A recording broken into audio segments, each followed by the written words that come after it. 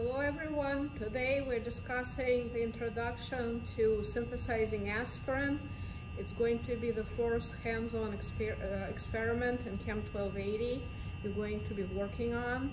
And um, first thing I would like to mention is the description of the initial procedure is in the lab manual and it begins on page 35. So hopefully um, before you uh, watching this video, um, you were able to uh, read through the background information and procedure description. So I will basically fill you in into some um, theoretical background that um, somewhat discussed in um, the lab manual, but I'll expand on some things and we'll talk about um, organic chemistry because uh, aspirin or acetyl salicylic acid is an organic molecule, so this experiment is designed to introduce you to uh, basic organic synthesis experiment.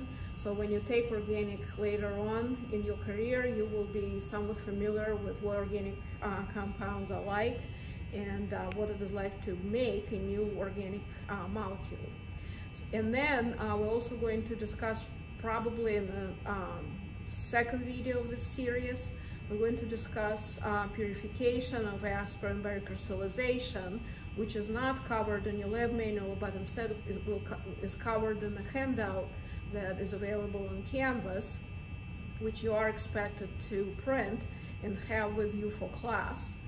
And we'll also discuss uh, purification of aspirin later on as well. So um, aspirin, or acetylsalicylic acid, is a unique substance in that it was the very first um, pain-relieving and fever-reducing medicine that um, humans were able to make, which uh, has proven to be extremely safe in most people. And um, it was actually breakthrough in science because before um, its discovery and use, there were there was no um, fair uh, proven safe pain reliever and fever reducer. So if you think about it, we take things like ibuprofen and acetaminophen and aspirin for granted, and there were days when such things were not available. And one thing that people didn't know about was a substance called salicylic acid, whose structure is shown right here. It's also um, this chemical equation that I have on the screen is also shown on page 36 in your lab manual. So salicylic acid, which is used here as a precursor or starting material for um, synthesizing aspirin, was a substance derived from bark of certain trees, and it was known to people to have fever-reducing and um, pain-relieving properties. And the problem with use of salicylic acid internally was that it was causing severe stomach bleeding, and ulcers and could cause death. And so it was not safe at all. And uh, the chemists, when they look at, looked at structure of salicylic acid, decided to find out why it was causing such uh, terrible side effects.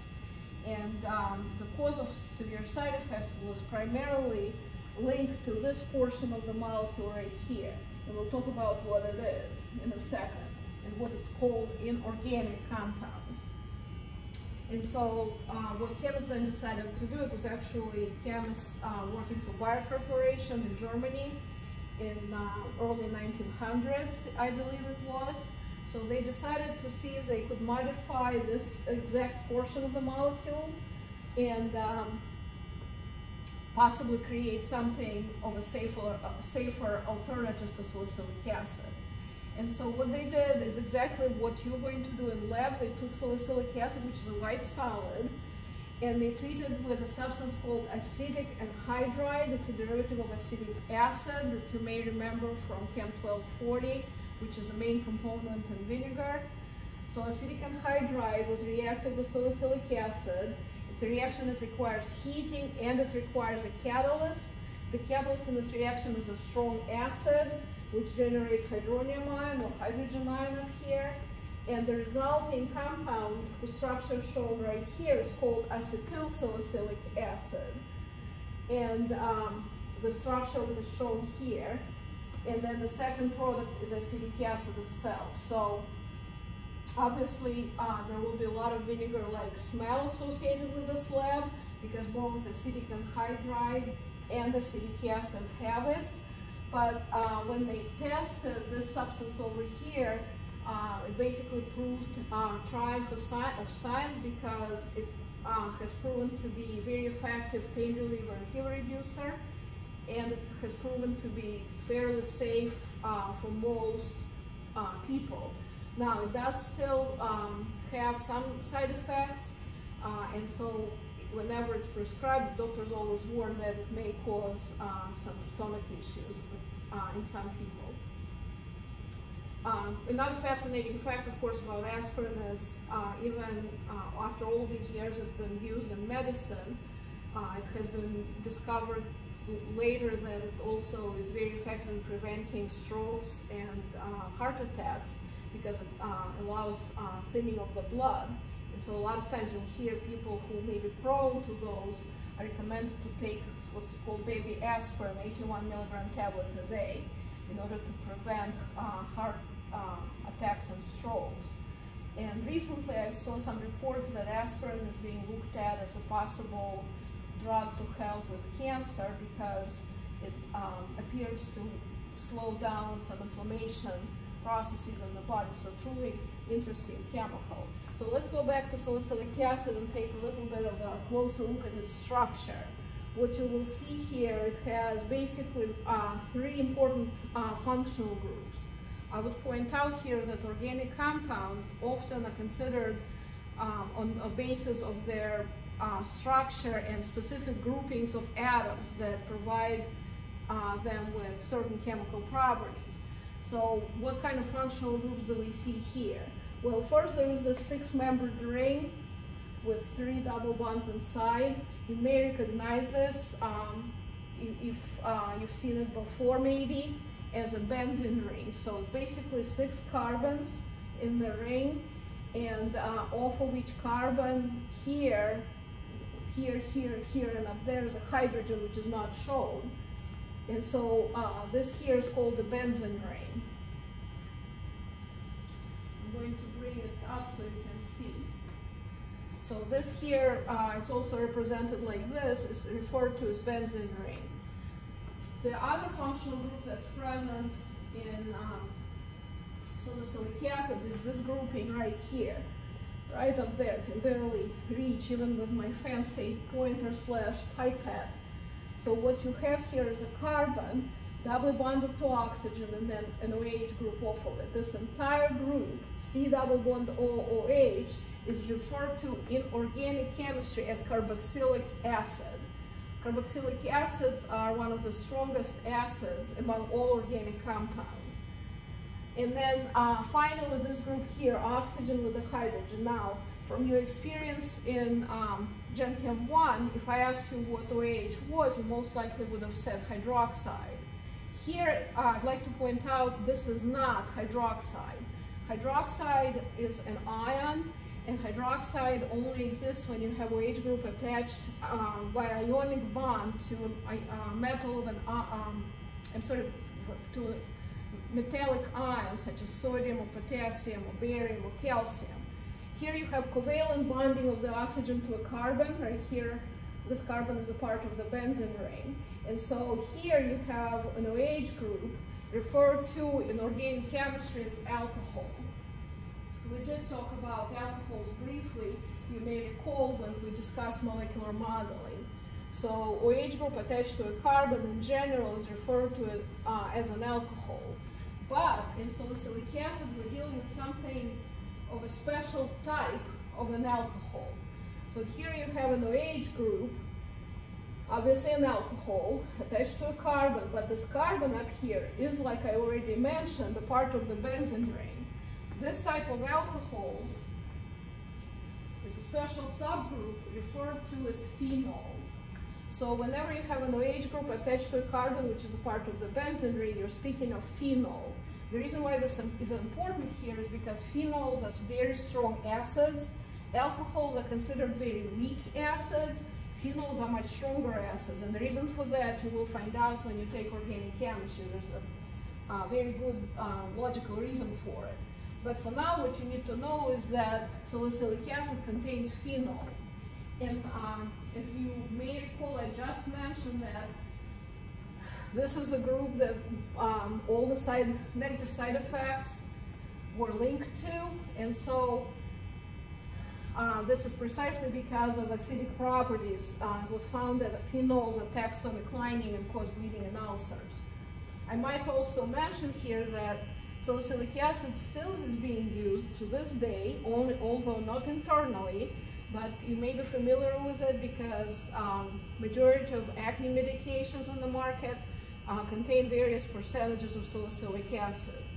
Uh, and it's because salicylic acid is very effective at um, helping with skin inflammation. And so here, um, I labeled this oxygen with an asterisk, and this red wavy line represents the bond breaking. And I'm showing you uh, also bond breaking in acetic anhydride. The structure is shown here. So the bond between this carbon and this oxygen here breaks.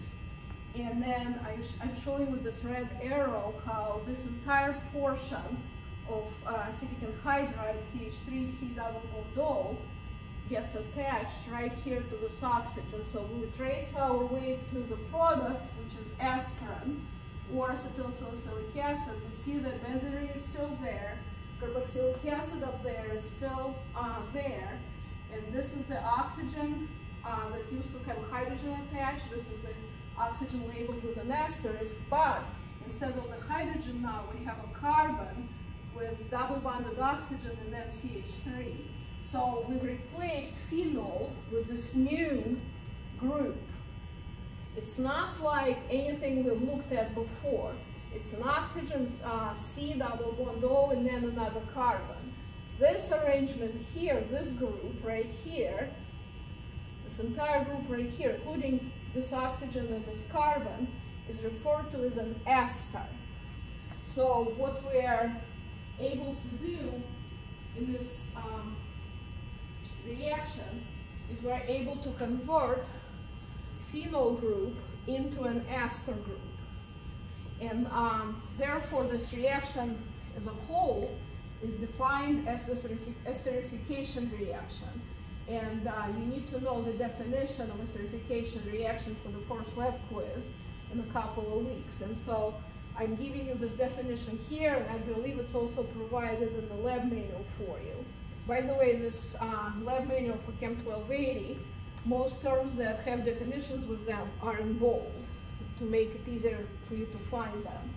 So esterification reaction is a reaction between an alcohol and either an anhydride, like in our case, or carboxylic acid, leading to formation of an ester. So here we reacted an alcohol, or in our case it was actually phenol, and um, anhydride, in our case it was acetic anhydride, and we uh, created an ester, and that ester is called acetylsalicylic acid.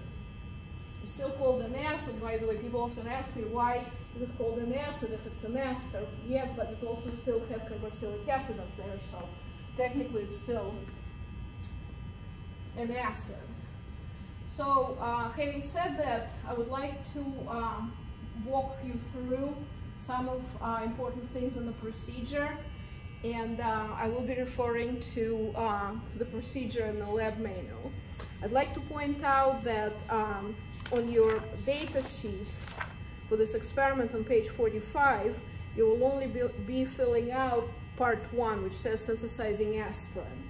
And then uh, we will expand the procedure to include recrystallization, like I mentioned, and uh, recrystallization and testing will be discussed, and uh, data will be entered into a data sheet provided along with the handout that's on Canvas.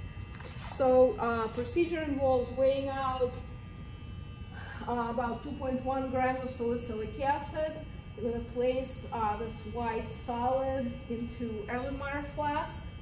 You're going to then um, go to the hood and you're going to measure, uh, I believe, 4 milliliters of liquid acetic anhydride. Acetic anhydride is a liquid.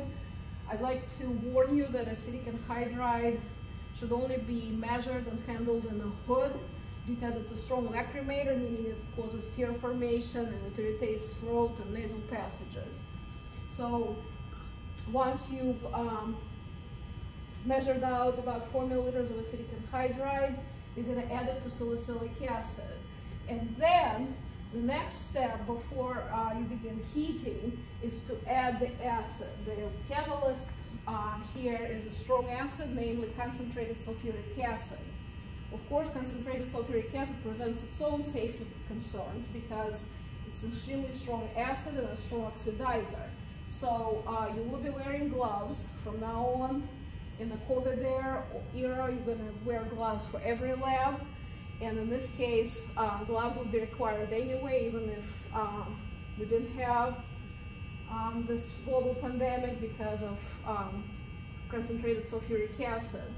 But the thing I wanted to point out is that before sulfuric acid is added, you're gonna have to make sure you swirl um, the anhydride and salicylic acid together to sort of um, ensure that anhydride liquid covers the solid.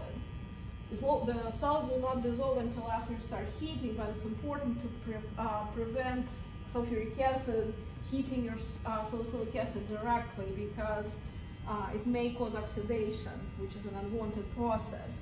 And you will know if oxidation of salicylic acid has occurred because it will start turning um, brown or black. So in order to prevent that, um, you will need to first cover solid with acetic anhydride, uh, which is a liquid. And then you're going to place your flask with your two reactants and the catalyst in the water bath. Um, obviously, it's desirable to begin um, with the experiment by setting up the water bath. You will be using a hot plate or uh, you can also use a bar, uh, Bunsen burner. I, I, think Bunsen burner is probably better because it's faster heating.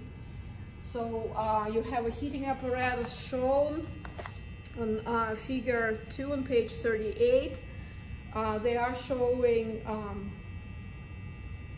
the hot plate and if you use a burner instead you will need a ring stand, a ring holder and a wire screen to, make, uh, to hold the beaker. And then um, one other quick remark on the water bath. Remember not to fill your beaker too much with water to avoid any water spilling when you lower the flask into it. And then uh, you're required to heat for about 15 minutes or so, 15 to 20. While heating, uh, we will recommend that you loosely cover the mouth of the flask with a piece of parafilm to prevent water vapor from entering the reaction mixture and uh, destroying your aspirin. Once heating is complete, you will carefully take the flask out and then TAs will direct you to some other additional procedure changes that will be necessary in order to make sure to crystallize and filter the aspirin for future use. So this completes uh, part one of this discussion. In the second video, we will discuss recrystallization and testing of aspirin.